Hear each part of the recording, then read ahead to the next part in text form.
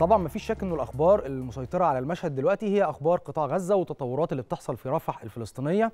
وكمان الجهود الكبيرة اللي بتقوم بيها مصر للوصول إلى هدنة شاملة هدفها هو حقن دماء أشقائنا في فلسطين. امبارح كانت المحادثات متواصلة في القاهرة وأكد مصدر رفيع المستوى على إنه في توافق ملحوظ مع بعض النقاط الخلافية. وإن مصر أكدت لجميع الأطراف المشاركة خطورة التصعيد وعدم الالتزام بالمسار التفاوضي.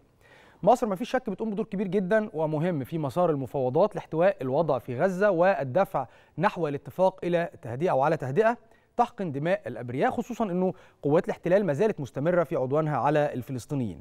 كان في غارات طبعا إسرائيلية على المنطقة الشرقية لمدينة رفح الفلسطينية استهدفت حي الجنينة وحي السلام ومنطقة تل زارع. ما زالت طبعا العمليات العسكرية في رفح الفلسطينية هي عدوان وجريمة إبادة جماعية ما زالت مستمرة وهي استهتار بحياة أكثر من مليون ونصف المليون مواطن فلسطيني خصوصا مع قطع بقى المساعدات عنهم وده بيتنافى مع كل القوانين والأعراف الدولية.